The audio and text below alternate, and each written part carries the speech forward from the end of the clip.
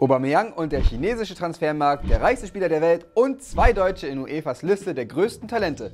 Das sind die Themen des Tages. Mein Name ist Flo. Los geht's. Pierre-Emerick Aubameyang wird seit Ewigkeiten mit einem Wechsel nach China in Verbindung gebracht und jetzt meldet sich der angebliche Interessent Guangzhou Evergrande offiziell zu Wort und dementiert jegliches Angebot. Und zwar mit diesem wunderschönen Schreiben. Ja, eindeutig, die hatten niemals Interesse. Aber wer ist dieser Pirre Emerick?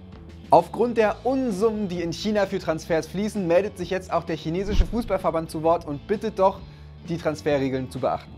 Die Nachricht über zwei Clubs, die verdächtigt werden, einen Bieterkrieg zu führen, hat Besorgnis hervorgerufen. Wenn im nächsten Schritt der Untersuchung Verstöße festgestellt werden, wird der chinesische Verband dies gemäß den Gesetzen und Vorschriften ernst nehmen. Um lokale Jugendspieler zu fördern und diese horrenden Summen einzudämmen, hatte man bei Transfers ab 6 Millionen Euro eine Zwangsabgabe eingeführt. Und weiter auf dem Transfermarkt, Marc Uth unterschreibt beim FC Schalke 04. Nachdem er seinen Vertrag bei Hoffenheim nicht verlängern wollte, geht er jetzt im Sommer 2018 ablösefrei zu den Knappen. Und der nächste, Liverpool plant wohl, Goretzka den Bayern vor der Nase wegzuschnappen. Finde ich ziemlich lustig, ich glaube nicht, dass es passiert, aber falls es passiert, hier habt ihr es zuerst gehört. Disclaimer, bei den nächsten News muss ich ab und zu mal aufs Skript gucken, weil die Namen kann ich mir einfach nicht merken. Wer ist der reichste Spieler der Welt? Messi? Ronaldo? Neymar? Nope, es ist ein Reservespieler von Leicester City. Faik Bolkia ist 19 Jahre alt und Neffe des Sultans.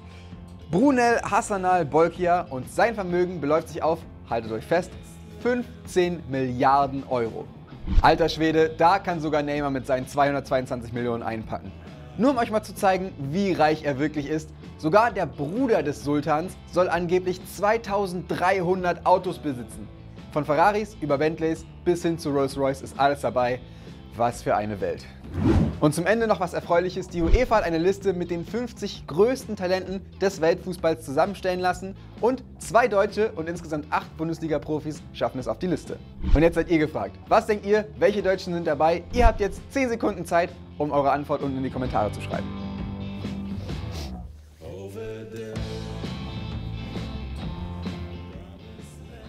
Es sind, oh Wunder, Jan-Fiete Arp und Felix Udokai.